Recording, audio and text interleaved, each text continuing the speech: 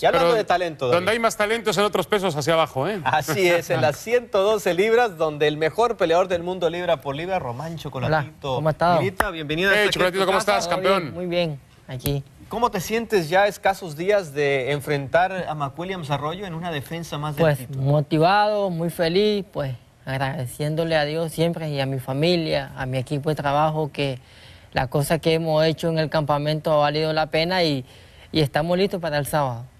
Eh, Chocolatito, hiciste tres peleas el año pasado y lo hiciste fantástico, realmente, de principio a fin, eh, sobre todo la pelea, bueno, la pelea con Sosa y la última pelea con Brian Viloria, donde me parece que tuviste tu momento sublime.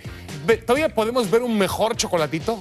Yo pienso yo que sí, quiero que sepan algo que el rival entre más bueno es, me luzco mucho mejor. Y eso para mí es una bendición enfrentarme con, con William. Es un muchacho muy bueno que combina bien su mano, fue olímpico.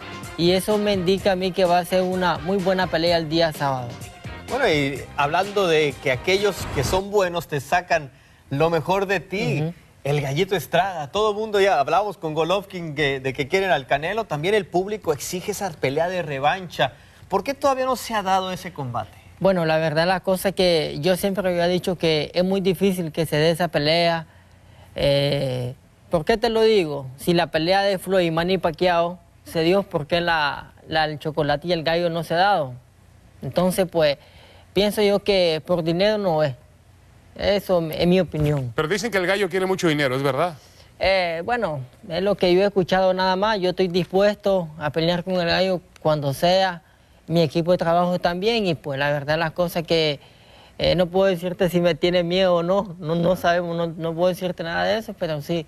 Yo pienso que cada quien ya está buscando su camino. Él dice que se va a la 115, dice ya.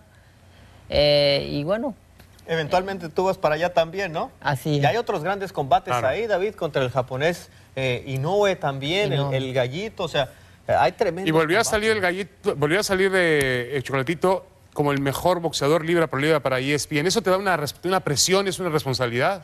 Bueno, agradeciéndole una vez más a ESPN que me ha dado la oportunidad de abrirme las puertas aquí. Eh, pues que Dios los bendiga a todos. Y pues es un compromiso más, me motiva a entrenar cada día más en el gimnasio y hacer lo mejor que se pueda. Y, y el, este sábado pues van a ver un chocolate mucho mejor como otras veces. Y pues ese eh, es mi talento que Dios me ha dado y pues esperando que cada uno de ustedes lo, lo disfruten.